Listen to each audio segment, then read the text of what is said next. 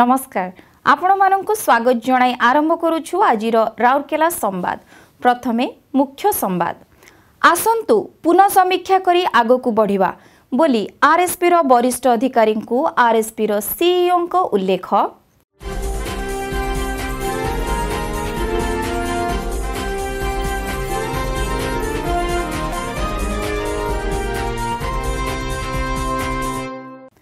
ଆର୍ଏସ୍ପିର ଇସ୍ପାତ ଜେନେରାଲ ହସ୍ପିଟାଲରେ ନୂତନ ସୁବିଧା ଉଦ୍ଘାଟିତ।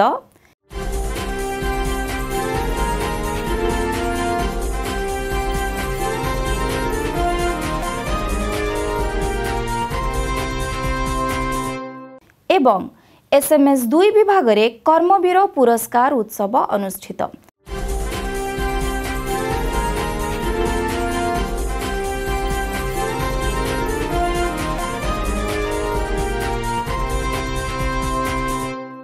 ଏଥର ସମ୍ପୂର୍ଣ୍ଣ ସମ୍ବାଦ।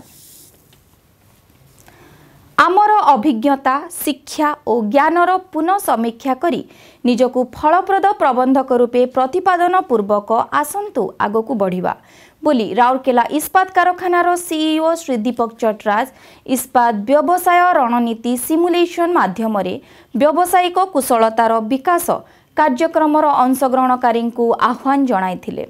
ଶ୍ରୀ ଚଟରାଜ ଏହି ଦୁଇଦିନିଆ କାର୍ଯ୍ୟକ୍ରମକୁ ଫେବୃଆରୀ ଏଗାର ତାରିଖରେ ଏଚ୍ଆର୍ଡି ସେଣ୍ଟରଠାରେ ଉଦ୍ଘାଟନ କରିଥିଲେ। ଉଦ୍ଘାଟନୀ ସମାରୋହରେ ସାମଗ୍ରୀ ପ୍ରବନ୍ଧନ ବିଭାଗର ନିର୍ବାହୀ ନିର୍ଦ୍ଦେଶକ ଶ୍ରୀ ଡି କେ ମହାପାତ୍ର ପ୍ରକଳ୍ପ ବିଭାଗର ନିର୍ବାହୀ ନିର୍ଦ୍ଦେଶକ Shri Pankaj Kumar A and I ବିଭାଗର ମୁଖ୍ୟ ମହାପ୍ରବନ୍ଧକ ଶ୍ରୀ ରାମନାରାୟଣ ନାୟକ କାର୍ମିକ ଓ ପ୍ରଶାସନ ବିଭାଗର ମୁଖ୍ୟ ମହାପ୍ରବନ୍ଧକ ଶ୍ରୀ ରାଜେନ୍ଦ୍ର ମିଶ୍ର ମଞ୍ଚାସୀନ ଥିଲେ। ଏହି ଅବସରରେ କାରଖାନାର ବହୁ ବରିଷ୍ଠ ଅଧିକାରୀ ଉପସ୍ଥିତ ଥିଲେ। ଉଲ୍ଲେଖନୀୟ ଯେ ଉକ୍ତ କାର୍ଯ୍ୟକ୍ରମରେ ଇସ୍ପାତ କାରଖାନାର କୋଡ଼ିଏ ଜଣ ମହାପ୍ରବନ୍ଧକ ଅଂଶଗ୍ରହଣ କରୁଛନ୍ତି। ସିଇଓ ନିଜ ବକ୍ତବ୍ୟରେ ଆହୁରି ମଧ୍ୟ କହିଥିଲେ ଯେ ଆମର ନେତୃତ୍ୱ ଦକ୍ଷତାକୁ ଅଧିକ ସମୃଦ୍ଧ କରି ଆମକୁ ପ୍ରତ୍ୟେକ ପରିସ୍ଥିତିକୁ ସାମଗ୍ରିକ କୌଶଳ ଦ୍ୱାରା ନିପୁଣ ରୂପେ ପ୍ରବନ୍ଧନ କରିବାକୁ ହେବ। ନକାରାତ୍ମକ ଭାବଗୁଡ଼ିକୁ ସକାରାତ୍ମକରେ ରୂପାନ୍ତରିତ କରିବାକୁ ହେବ ଏବଂ ଆମକୁ ଅଧିକ ପରିପକ୍ୱ ନିଷ୍ପତ୍ତି ଗ୍ରହଣ ଓ କାର୍ଯ୍ୟଧାରା ଜରିଆରେ ଉତ୍ତମ ଫଳାଫଳ ହାସଲ କରିବାକୁ ହେବ। ଏହା ସନ୍ତୁଷ୍ଟି ଆଣିବାରେ ସହାୟକ ହେବ ଯାହା ଆମେ ଜୀବନରେ କ'ଣ କରୁଛନ୍ତି ତାହାର ଏକ ମହତ୍ତ୍ୱପୂର୍ଣ୍ଣ ପରିମାପ ଅଟେ। ଶ୍ରୀ ଚଟରାଜ ଜ୍ଞାନ ଓ ଦକ୍ଷତାର ନିରନ୍ତର ଉନ୍ନତି ବାସ୍ତବତାକୁ ଗ୍ରହଣ କରିବା ଏକ ଧ୍ୟେୟ ସହିତ ରଣନୀତି ପ୍ରସ୍ତୁତି ବ୍ୟୟ ନିପୁଣ ନେତୃତ୍ୱ ସହକର୍ମୀଙ୍କୁ ସହଯୋଗ ଏବଂ ପରିବର୍ତ୍ତନର ବାର୍ତ୍ତାବହ ହେବା ଉପରେ ମଧ୍ୟ ଗୁରୁତ୍ୱାରୋପ କରିଥିଲେ। ନିଜର ବକ୍ତବ୍ୟରେ ଶ୍ରୀ ମହାପାତ୍ର ଆଶାବ୍ୟକ୍ତ କରିଥିଲେ ଯେ ଏହି କାର୍ଯ୍ୟକ୍ରମ ଆଗ୍ରହ ସୃଷ୍ଟି କରିବ ଏବଂ ଅଂଶଗ୍ରହଣକାରୀଙ୍କୁ ବୈଧାନିକ ଆବଶ୍ୟକତା ଓ ନିରନ୍ତର ଅଭିବୃଦ୍ଧିକୁ ଦୃଷ୍ଟିରେ ରଖି ଫଳପ୍ରଦ ନିଷ୍ପତ୍ତି ନେବାରେ ସହାୟତା ପ୍ରଦାନ କରିବ।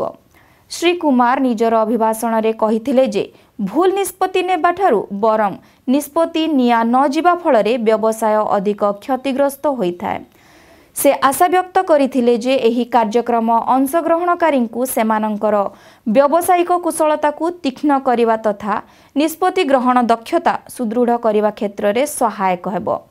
ନିଜର ବକ୍ତବ୍ୟରେ ଶ୍ରୀ ନାୟକ ବ୍ୟବସାୟର ବିଭିନ୍ନ ପ୍ରସଙ୍ଗ ସମ୍ବନ୍ଧରେ ଜ୍ଞାନ ଆହରଣ ଏବଂ ଏହାକୁ ଅଧିକ ନିପୁଣ ଗଢ଼ିବା ପାଇଁ ଏହି କାର୍ଯ୍ୟକ୍ରମ କିଭଳି ଏକ ପ୍ରଯୁଜ୍ୟ ମଞ୍ଚ ଯୋଗାଇ ଦେଉଛି ସେ ସମ୍ପର୍କରେ ଉଲ୍ଲେଖ କରିଥିଲେ। ଶ୍ରୀ ମିଶ୍ର ନିଜର ଅଭିଭାଷଣରେ ନିଷ୍ପତ୍ତି ଗ୍ରହଣରେ ସାମଗ୍ରିକ କୌଶଳ ଅବଲମ୍ବନ ଏବଂ ଏକ ବ୍ୟବସାୟ କିଭଳି ପରିଚାଳିତ ହୋଇଥାଏ ସେ ସମ୍ପର୍କରେ ସମ୍ପୂର୍ଣ୍ଣ ଅବଗତ କରାଇବା ନିମନ୍ତେ ଏହି କାର୍ଯ୍ୟକ୍ରମ ଏକ ବଳିଷ୍ଠ ସୁଯୋଗ ଯୋଗାଇ ଦେଉଛି ବୋଲି ଉଲ୍ଲେଖ କରିଥିଲେ। ପ୍ରାରମ୍ଭରେ ଏମ୍ଟିଆଇ ରାଞ୍ଚିର ଜିଏମ୍ ଏକାଡେମିକ୍ସ ଓ ବରିଷ୍ଠ ଫ୍ୟାକଲ୍ଟି ସଦସ୍ୟ ଶ୍ରୀ ଏସ୍ କେ ମଲ୍ଲିକ ଏହି ଅନନ୍ୟ କାର୍ଯ୍ୟକ୍ରମ ସମ୍ପର୍କରେ ଉଲ୍ଲେଖ କରିଥିଲେ। କାର୍ଯ୍ୟକ୍ରମ ସଂଯୋଜକ ତଥା ମେସର୍ସ ବିଜିଗା ସଲ୍ୟୁସନ୍ ପ୍ରାଇଭେଟ୍ ଲିମିଟେଡ୍ର ଶ୍ରୀ ରାହୁଲ ଜଲାନ ସିମୁଲେଟର ଏକ୍ସରସାଇଜ୍ ସମ୍ପର୍କରେ ମତବ୍ୟକ୍ତ କରିଥିଲେ।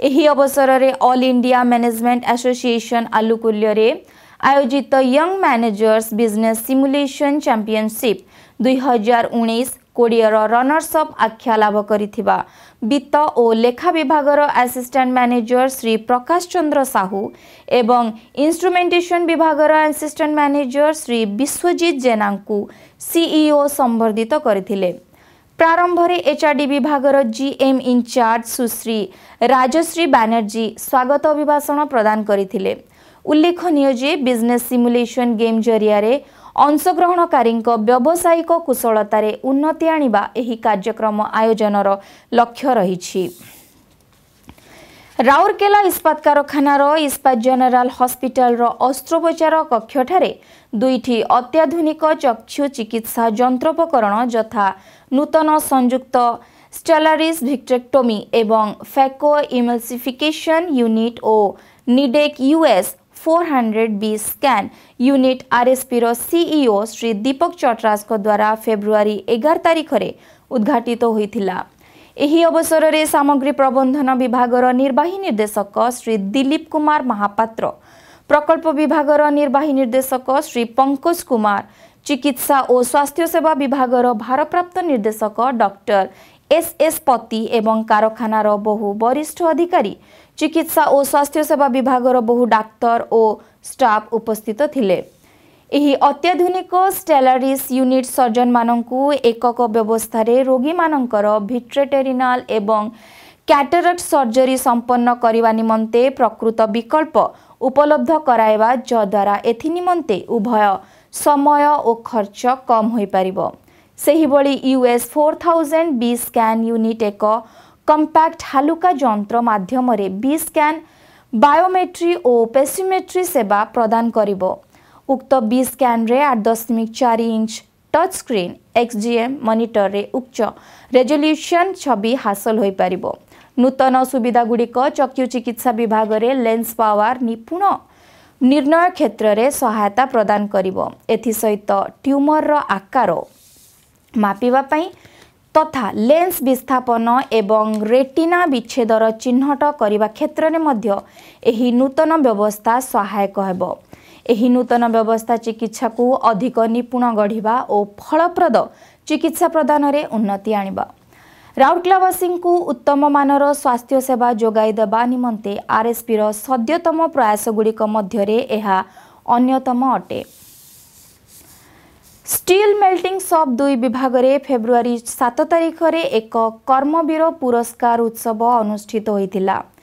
ଏଥିରେ CGM steel Shri A K Chakraborty ଅଧ୍ୟକ୍ଷତା କରିଥିଲେ। ଉତ୍ସବରେ ଷ୍ଟିଲ୍ ମେଲ୍ଟିଂ ସପ୍ ଦୁଇ ବିଭାଗର ସିଜିଏମ୍ ଶ୍ରୀ ଏସ୍ ମାଝୀ ମଧ୍ୟ ଉପସ୍ଥିତ ଥିଲେ। ଅତିଥିମାନେ ବିଭାଗର ଏସ୍ଓଏସ୍ଟି ଶ୍ରୀ ଆଲେକ୍ଜାଣ୍ଡର କୁଜୁଙ୍କୁ ଡିସେମ୍ବର ମାସର କର୍ମବୀର ପୁରସ୍କାର ପ୍ରଦାନ କରିଥିଲେ। ଏହି ଅବସରରେ ବିଭାଗର ବହୁ ବରିଷ୍ଠ ଅଧିକାରୀ ଓ କର୍ମଚାରୀ ଉପସ୍ଥିତ ଥିଲେ। ଶ୍ରୀ କୁଜୁଙ୍କୁ ବିଭାଗରେ ପ୍ରଦର୍ଶନରେ ଉନ୍ନତି ଆଣିବା କ୍ଷେତ୍ରରେ ଯୋଗଦାନ ନିମନ୍ତେ ପୁରସ୍କୃତ କରାଯାଇଥିଲା। କାର୍ମିକ ବିଭାଗର ଏଜିଏମ୍ ସୁଶ୍ରୀ ଆର୍ ଏସ୍ ଏକା କାର୍ଯ୍ୟକ୍ରମ ସଂଯୋଜନା କରିଥିଲେ। ଆସନ୍ତୁ ଦେଖିବା ଆର୍ଏସ୍ପି କର୍ମଚାରୀ ସମୂହଙ୍କୁ ସିଇଓ ଶ୍ରୀ ଦୀପକ ଚଟ୍ରାଜଙ୍କ ଦ୍ୱାରା ଦିଆଯାଇଥିବା ବାର୍ତ୍ତା।